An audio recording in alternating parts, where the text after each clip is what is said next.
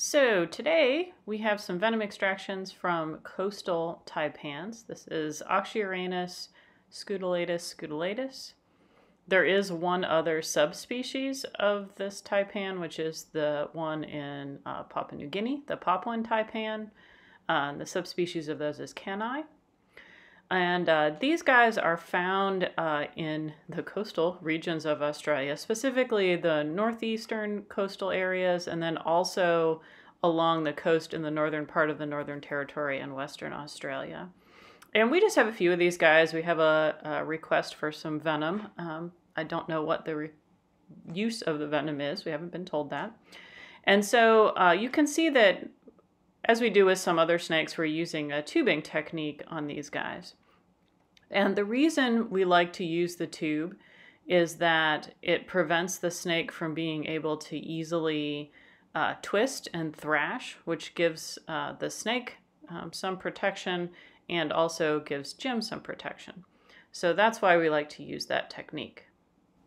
And taipans have quite the reputation for being uh, really uh, dangerous snakes and uh, for acting really wild and crazy. And of course, we don't really want them to act wild and crazy. That is one reason for using the tube as opposed to just trying to immediately pin them. Uh, and we also always believe in using gentle handling techniques to manipulate the animals so that they uh, stay as calm as possible. And you can see this one here is slightly uncooperative, uncooperative for a minute. But eventually he decides that he can go on into the tube. Uh, taipans are also well known because uh, prior to the introduction of antivenom for them uh, in the 1950s in Australia, uh, their bite was considered 100% fatal. Now, whether or not that's you know completely true or if there were some unreported bites where the people survived, um, you know, probably up for debate. But in any case, they are considered a highly venomous snake. A lot of people, I think, outside of Australia think that Australian snakes are only neurotoxic, but that's not true. This snake does have a high neurotoxin, but can also cause coagulopathy, which is uh, difficulties with the blood clotting and other issues as well. So it's really uh, an oversimplification to say that they're entirely neurotoxic. And this is the last snake that we have here. Um, you can see he's also kind of looking the other way. I think this is the largest one that we extracted from. Um,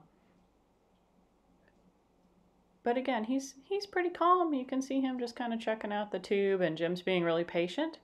And then once he starts to go in there, we kind of you know encourage him to keep going, and then he's in the tube.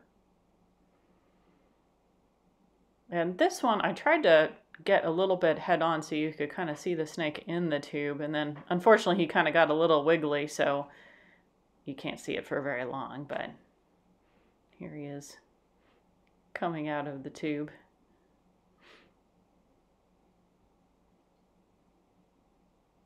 And just a word about the hook that we use. Um, that's just a standard snake hook, and we've used some vet wrap around the handle, which you can kind of see since it was in, inadvertently close to the camera there.